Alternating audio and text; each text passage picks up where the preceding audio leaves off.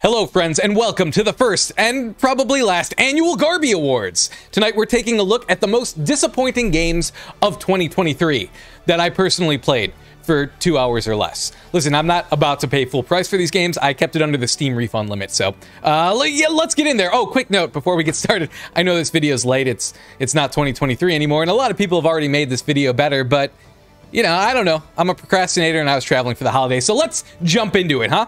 First up, let's start with some honorable mentions that didn't make the list. They're not in contention for the Garbies. I wanted to point out Redfall. Redfall had a very bad launch. It didn't have 60 frames per second. It was buggy. The AI sucked. But after playing it, it, it just wasn't in contention with these other games, really. And I, I played it for a little bit, and it's actually, it's not that bad, especially when you've been playing some of the worst games of 2023. So it didn't make the list this year. Forspoken was also panned for its terrible dialogue, um, did you not just see me take out that gnarly beast? Yes, that dialogue is very cringe, but you know, cringe dialogue by itself, just not enough to get you on the list. It's a very stacked year for terrible games, and Forspoken just didn't make the cut either. Without further ado, let's get into it. Let's see who did make the list. First up is a latecomer to the competition. We've got The Day Before. The Day Before was developed by Fntastic, or Fntastic, I don't really know how to pronounce this, and published by Mytona. The greedy little swine behind this game probably thought they could stay off this year's worst games list by sneaking in the release at the end of the year. Nope, I caught you like a naughty little goat that keeps getting out of its pen and eating all the daffodils. I almost didn't get a chance to play this one since the server shut down and it got delisted from Steam, which was of course followed by the developers changing their name in an attempt to pretend the whole thing never happened. But it did happen. I know because I bought it and I played it the day before it got delisted. See what I did there? I said the thing. For those of you who didn't follow the day before drama, the developer had been teasing this game for years, calling it an open world zombie survival MMO and showing off some really good looking footage. Over the years, people started to think that it was a scam and the game didn't really exist. But surprise, it did exist. Eventually. Except it was an extraction shooter and not an MMO, and not an open world. Also, it looked like a pile of dead rats and it played even worse. When the entire internet rightly called out the game for generally being trash, the studio shut down the servers and canceled support for the game. Since the game was online only, that meant people who had bought it could no longer play it, ever. Fortunately, Steam offered returns for this game, even if you played longer than the two hour return window they usually have. So there's kind of a happy ending. Speaking of Steam, let's check out some Steam reviews for the game. Dr. Compton says, turns out it's a real game, kinda wish it wasn't. Extra Chromie Homie says, this open world is smaller than a New York apartment, but with more rats. Dude in the Wasteland says, what a beautifully crafted refund simulator. And the game is every bit as awful as these reviewers are saying. Here's a look at the zombie AI. These guys are a real threat to the players. You can feel the tension. Here's a look at the jumping and mantling in the game. Just kidding, your character is never making it over anything waist high. Here's a look at the PvP combat, but I should mention the only way I was able to find anyone in this large empty hellhole was to wait by an extraction point after I'd gotten a message that the servers were shutting down. I assume that was the message that the servers were shutting down forever? All in all, I'm glad this infected cavity of a game got yanked out of the Steam store, and hopefully we never hear from the developer Fntastic again. Oh, and they're calling themselves 8 Points now. Maybe because they made a game that scores eight points out of a thousand. Boom, got him. Seriously though, don't buy anything from eight points. Just don't. Next up, Skull Island Rise of Kong. This one was made by Iguanabee and published by Game Mill. It's currently priced at 40 bucks on Steam or just 10 extra smackers for the Colossal Edition. Ooh, even more to hate. This game looks like it was developed in 2017 to take advantage of the Kong Skull Island hype, but then they forgot to release it until someone found it under a couch in 2023. Wait a minute, I just realized that Horizon Zero Dawn came out in 2017, and it looks miles ahead of Skull Island, so that joke doesn't make any sense. Sorry about that. Let's read some reviews. The Random Crits Blues says, you know the game is a banger when the file is called monkey.exe and has stock Unreal image. That's true. The actual file of the game is called monkey.exe. I don't know why. Ghost Nuts says, I will never be as brave as the people who thought this was acceptable enough to release. Jigsaw. Kazoo Crash says, This game really rustles my jimmies. Your dad's side bitch says, This game is definitive proof that God doesn't exist. But enough reviews, you probably want to know how I feel after actually playing this beast. First, a bit of backstory. Kong Skull Island opens with you playing Kong's mom, who is worried about her son and husband, who haven't made it back from their fishing trip. And in the opening, the narrator refers to these three as the Kong family, which is a little weird. Like if Wednesday is in the Addams family and her name is Wednesday Addams, and Kong is in the Kong family, does that make his full name Kong Kong? Also, how big is a Kong supposed to be anyway? Without any humans around for scale, all I have to go on is other monsters, which isn't helpful. I mean, I could look at the trees, but they make a fully grown Kong look about the size of, I don't know, Shaq. I mean, Shaq's big, but I don't think he's Kong big. Now let's talk about the combat, or should I say Kong bats. No, no, I shouldn't. Anyway, the combat is as flat and boring as it looks in the gameplay videos of people making fun of it. The only moderately interesting part was the mechanic that lets you throw enemies at other enemies, but it was so clunky to use that I abandoned even trying to do that after a few attempts. Getting back to the story, you don't stay Mama Kong for long because she and her husband are brutally murdered in front of Kong Kong. Then you see a cutscene of an adorable baby Kong who's not even one Shaq tall as he attempts to survive in the jungle. But you don't actually play as little Kong. The game just time jumps to when you're an adult. And that's about as far as I got because shortly after that, I experienced a game-breaking bug. See, I need to use my charged heavy attack to break these rocks, but my heavy attack no longer charges up. I tried on the controller, and I even tried switching to mouse and keyboard, but nothing happened. Attempting to quit and reload my save resulted in the game just showing a loading screen for 5 minutes, until I abandoned that too and force quit the game. Wow, a game-breaking bug in under one hour? Someone's going for a record. Looks like Kong Skull Island is a serious contender for this year's Garby. Our next contender for this year's Garby is none other than Lord of the Rings Gollum. This game was developed and published by Daedalic Entertainment and is currently an absolute steal at only 20 bucks on Steam. Sorry, quick editor's note, that $20 price I saw was actually a sale. It's back up to 50 now, so you missed the sale, you'll have to pay full price if you want this game, sorry. But wait, that's not all, there's also an emote pack for Gollum. That's right, this single player stealth game has emotes, and you're gonna wanna shell out that extra cash so you don't miss out on emotes like this.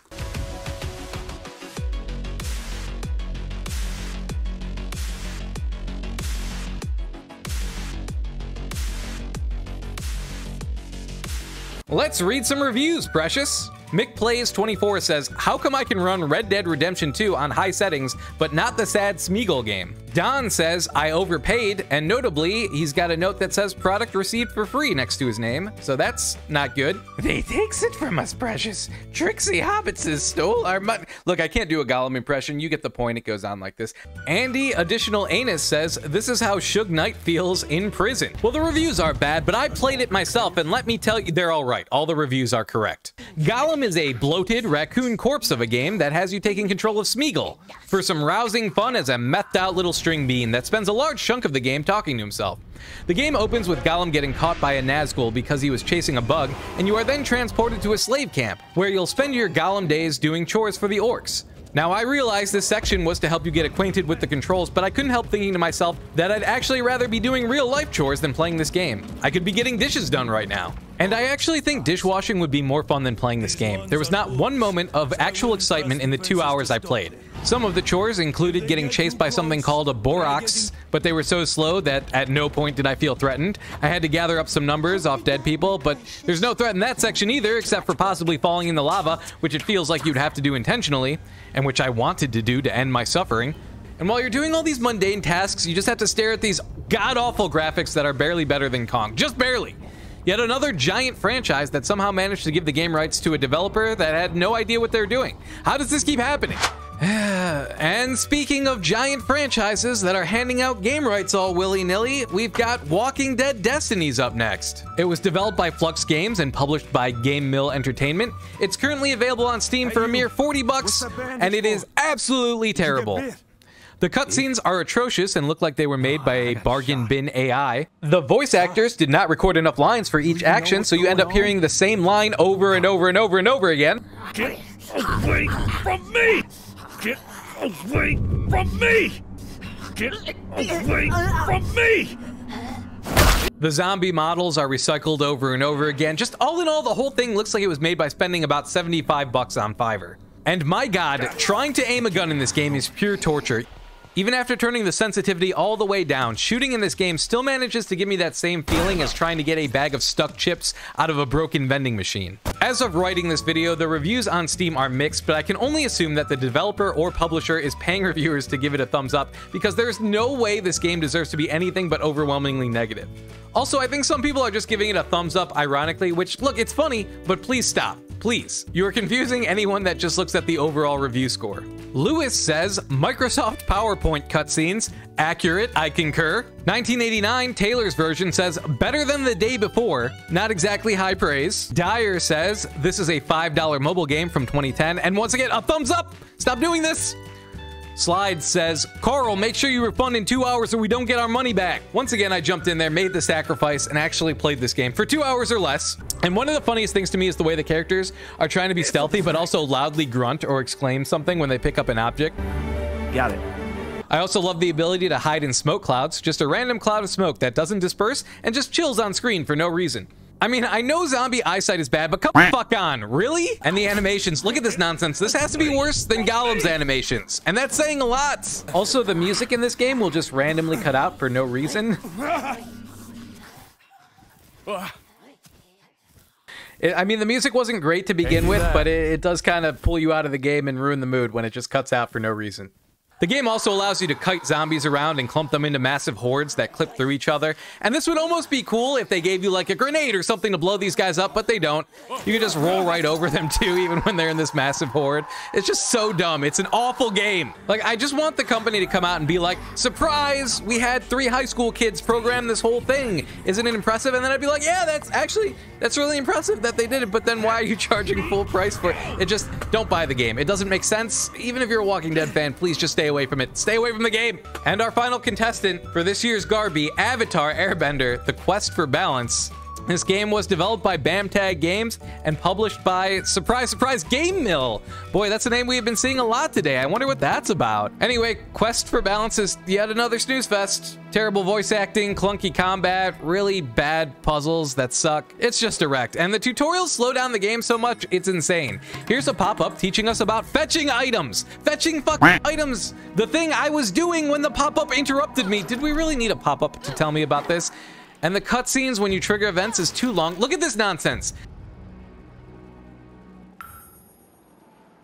Mm.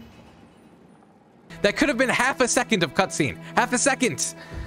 Everything about this game seems designed to put the player to sleep, and that includes the music. This game could possibly be used as a cure for insomnia, but don't buy it if you actually want to play a video game. And they are still, at the time of me recording this, charging $50 for this game. Let's read some reviews. Elden Lord Nikolai says, I am not your beta tester. This game doesn't even feel like it's in beta. It feels like a very early alpha. Lucky Rick says, my quest for a refund failed. Oh no, did you play more than two hours? 3.7 hours on record, what were you thinking?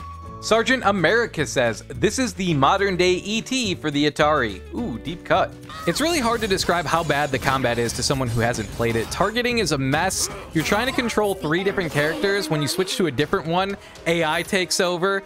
Enemies just warp in out of nowhere, and then once they do warp in, some of them just stand there. They don't really do much. They'll occasionally turn and shoot at you. It really feels like they couldn't be bothered to animate the bigger enemies walking around or chasing you or anything like that. They're just like, nah, it'll just turn occasionally and maybe shoot a fireball at you. There's these really bad race sequences, like when you hop on this otter penguin, and it may look like you have full control, but it's really just you switch to the different lanes. It's like one of those endless runner games you might play on your phone. It really feels like this game was made for mobile and just ported to PC or something. I don't know if it's available on mobile. I didn't check, but that's how it feels. This section kind of reminded me of the penguin race in Mario 64, except the Mario 64 race was way more fun. And it came out a million years ago. Literally a million. And that's it. That's all the contestants for this year's Garby. And now it is time to announce a winner, or should I say, a loser. Uh, so drum roll, please. This year's winner is... The day before! Yes, that's right. How can you compete with a game so bad it ceased to exist? At least those other games I mentioned are still playable, but the day before is no longer playable. It simply imploded like a poorly coded black hole. Let that be a lesson to all of us about getting hyped for a game based on early test footage. That's very suspicious. And that's it. That's all for this video. If you think I missed a game, if you're like, hey, you forgot about this really bad game in 2023, leave it in the comments. I didn't play every game that was released in 2023, obviously, so I might have missed a few. I'd love to hear what your take is. And if you think I should do this next year, I really don't think I should. But if you think I should, leave it in the comments. Uh, leave a comment on what how you think I could improve this video. Thanks for watching, and I will see you all next time. Bye-bye.